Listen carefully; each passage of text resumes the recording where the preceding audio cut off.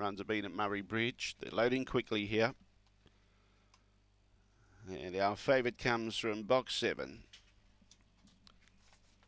Odds are in, evens placed away. Green light goes on. Set to go. Don't forget late scratching race nine, number four, Beckham Express.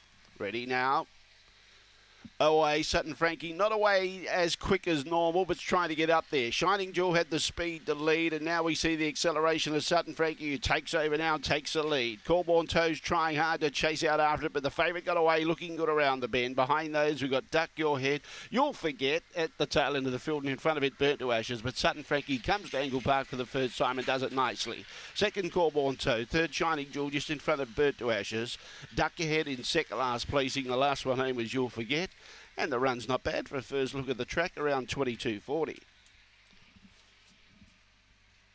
22.43 the time, 22.43.